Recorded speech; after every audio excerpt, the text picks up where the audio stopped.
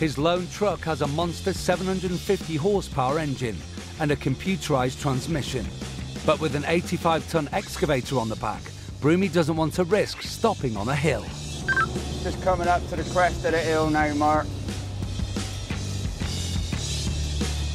The truck is fresh off the assembly line and passed its first hill test with flying colours. Broomy is now just 41 kilometres from his destination, the quarry in Gurney Slade. But the route is just single carriageway, and halfway is the town of Glastonbury. Just a few days ago, the small town was swamped by 175,000 revellers for the annual festival. And the narrow roads are still packed with festival traffic. They wanted to do this last week. Yeah, this would have been bloody fun. With the pop festival being on, there's no way you'd have come down here with it. The entire rig is a colossal 135 tons. It's like trying to drive a blue whale on wheels. This is gonna be a while. As I say, this is the wide bit. Yee-hee! Love it! Acting escort driver Mark has his work cut out clearing a path. I want to get on as far as I can, stop the lorries coming down. This is Glastonbury, mate. Because they, they, they take forever and a day to come out of Glastonbury. They've come out of Glastonbury, I guarantee it. Broomy is averaging just 10 kilometres an hour, and the traffic is mounting up behind him. God dear me. Got a good hour to go yet of this. No point stressing over it. It'll get there. Bloody late, but it'll get there. After a torturous two hours for him and every road user on the A39, Broomy rolls into Glastonbury. Oh, look! It's my new house! Glastonbury Tor! He now has to tackle the slow, winding hill around the Tor, and then it's the home stretch to Gurney Slade Quarry.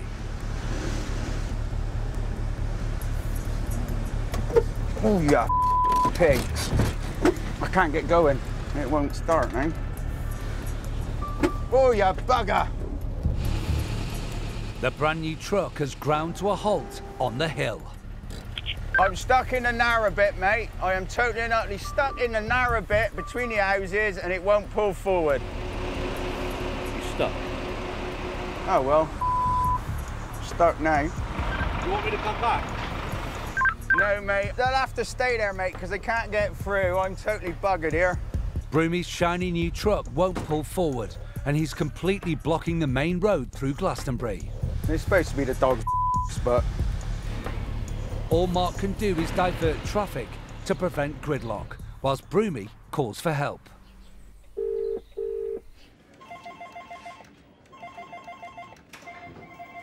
Hiya, Broomy, how's it going, mate? Bob is in charge of business development and was in the Army's Royal Corps of Transport for 20 years. stuck in Glastonbury, mate. Right in the middle of the road, and the thing won't pull forward. Just keep stalling. Just keep stalling. Yeah, I've got lorries behind me. I got them shut the road off up there. I am causing absolute chaos here. So we have a problem with the unit, yeah? Yeah, it just won't pull, mate. It just will not pull up this little bank that I'm on here now. It just will not pull it. Your flavour of the month down there, I expect, then, aren't you? You need to get onto the law, mate, because I'm absolutely cocking this place right up.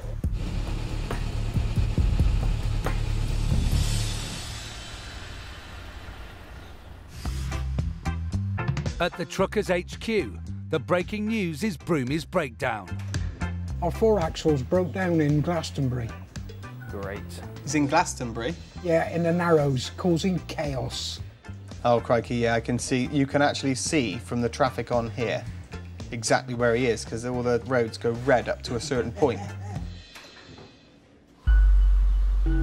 It's no laughing matter. Broomy's giant 85 ton excavator has been blocking the main road through the town for two hours. And there's already a tailback two miles long of over 100 cars. Mark is frantically diverting traffic to ease the gridlock. That way. Quicker that way. Okay, Cheers, mate.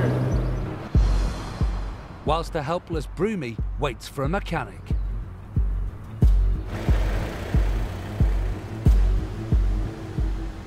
Right, boy? no, we're just sat here for a laugh. John from Volvo has arrived to save the day. Years ago, it used to be a big sledgehammer and some gaffer tape. Now it's a laptop. You need to be a computer technician just to drive them now, don't you? If this don't fix it, we're not good. Despite John's best attempts, the computer says no. The high-tech truck's clutch has seized and it won't budge. Sure, you lot live around here, you do? Broomy has now been causing chaos in Glastonbury for three hours. I'm about uh, 20 trucks back. Looks like we're going to be here a while, doesn't it? I'm one truck ahead of him, and I'm going about 10 minutes up the road that way. I don't think we're getting out of here anytime soon. And the police want the road cleared. That's the one. That's me. Hi, boss. Adam All right. All right, matey. Um, what's happened? Died. Oh, brilliant. Good start. um, how long are they going to be fixing it? I don't know, I reckon he's going to recover. The only solution is to tow the 135-ton truck out of Glastonbury. It's time to call in the wreckers. But Broomy's rig is so heavy, it's going to take two recovery trucks to pull it up the hill. Neil, the recovery driver, is in charge of towing Broomy's massive load. We're just going to hook both riggers up together on a straight bar, just to give us a bit of momentum to get off the hill. Basically, we're ready to go then.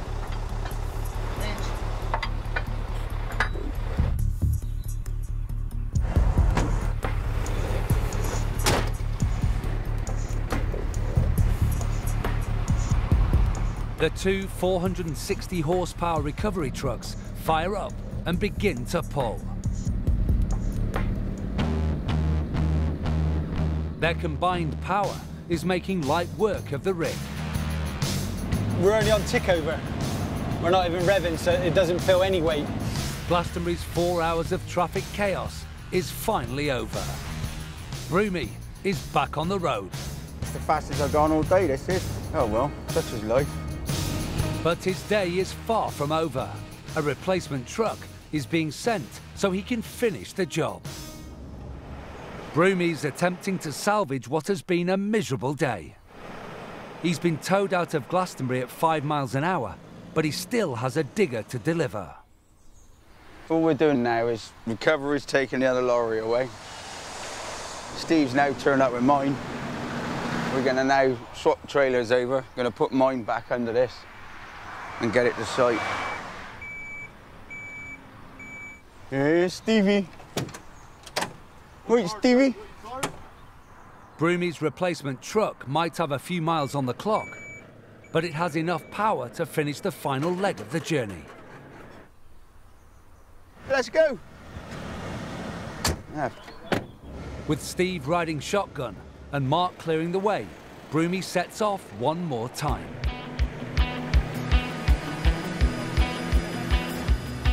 He'll be praying the final 15 kilometres to the quarry will be event free.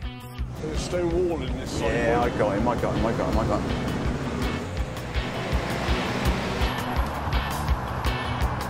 Yeah, we're there. Broomy has arrived at his delivery destination, and it's taken all day to transport the giant digger just 70 kilometres. And he's eager to see the back of it. Putting the timber underneath the machine now, so when I lower the trailer, it sit on the timber, the trailer will drop to the floor, we can pull all the rest of the blocks out and get rid of it. Hopefully, fingers crossed.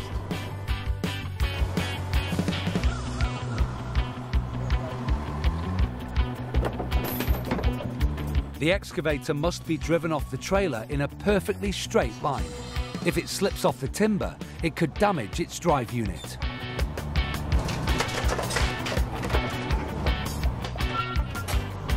It's been a day to forget, but Broomy can finally pack up and head home. One of those jobs. It was all nice and easy. Everybody would be doing it, wouldn't they?